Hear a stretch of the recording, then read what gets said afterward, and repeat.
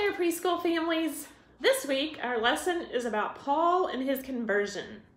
If you picked up the packet from church earlier this month, you have the cups to use this week.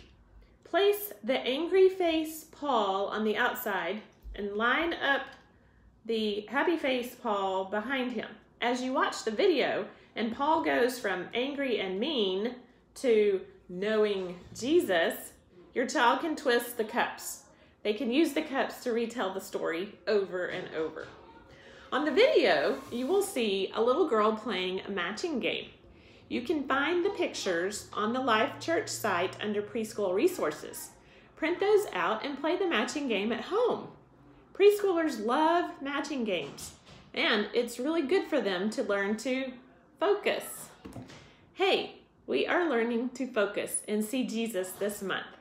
And I really like that the matching games uses faces of different feelings. What a good time to talk about feelings with your child. You really cannot talk about feelings too much with kids. At this age, they are just learning about what each feeling is and how to name it. Now, let's talk about the memory verse. There are a lot of words this month.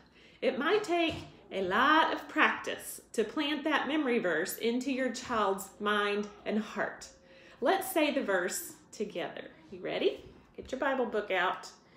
These are written so that you may believe that Jesus is the Christ, the Son of God.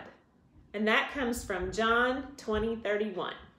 Good luck. I'd love to see a video of your child saying that super long verse post it on our Facebook page. Life Church is opening its doors this Sunday for family services. Children will sit with their family in the service. I have activity bags for them to use while in service. If you are not yet ready to come to church, please use the resources at home as you have been doing. Have fun learning that we can all believe in Jesus. You guys take care. Ollie out.